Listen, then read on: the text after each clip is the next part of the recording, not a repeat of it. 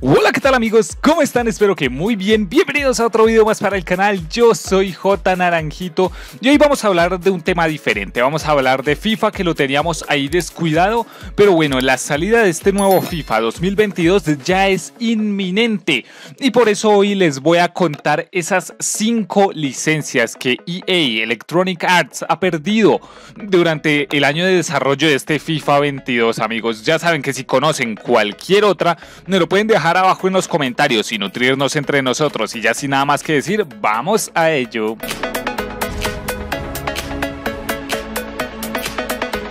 Y para empezar hablemos del Jan Suning y para aclarar como tal no es que FIFA perdió su licencia porque se haya ido a PES, sino que directamente el equipo dejó de existir.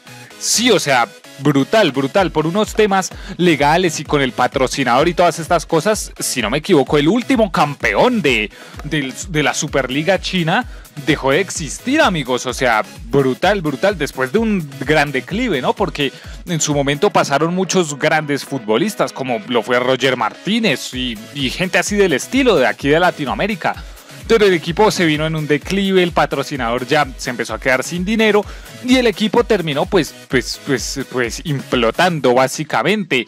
Entonces, la verdad, no es, no es que un equipo desaparezca todos los días, por eso me parecía digno de incluirlo aquí, pero como les digo, no es que se vaya a PES, no, es que directamente dejó de existir.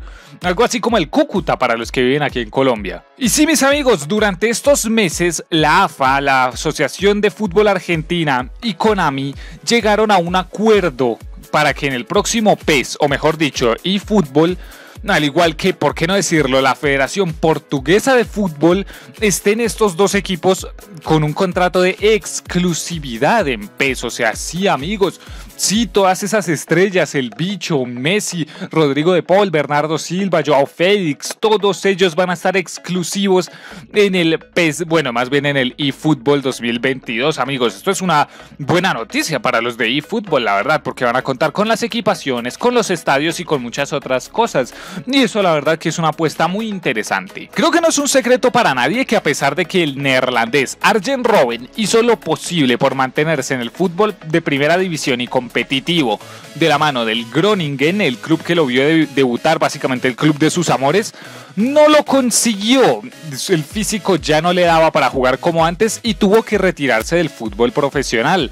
Por lo cual, eh, ni siquiera en ni fútbol lo veremos, pero tampoco lo volveremos a ver aquí en FIFA, más allá de las cartas Legacy que puedan sacar, o las cartas Vintage que se puedan sacar de este jugador, pero ya no lo volveremos a ver más. Sí amigos, la Sociedad Esportiva Lazio, club en el que milita el anterior bota de oro Chiro Immobile, también se une a eFootball con otro contrato de exclusividad, ya saben lo que esto significa, equipaciones, el estadio, escaneo de los jugadores y muchas otras cosas, la verdad. Es verdad que no es un equipo demasiado grande ni importante, pero es de los, de los que siempre hay que tomar en consideración en Italia, siempre es de los que pelean Champions League, entonces es una adquisición decisión bastante importante por Konami. Y para terminar amigos, este sí es un gran fichaje y es que Konami anunció el fichaje del Atalanta de Bergamo, equipo que está haciendo una auténtica revelación en Europa actualmente, quien cuenta con estrellas como Iwan Zapata y Luis Muriel, además de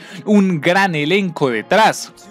La licencia de esta escuadra, ojo, también es exclusiva equipaciones y estadios, por lo cual yo creo que no los vamos a ver en FIFA durante un muy buen rato. Y bueno amigos, ¿saben de otras licencias que haya perdido FIFA durante este año?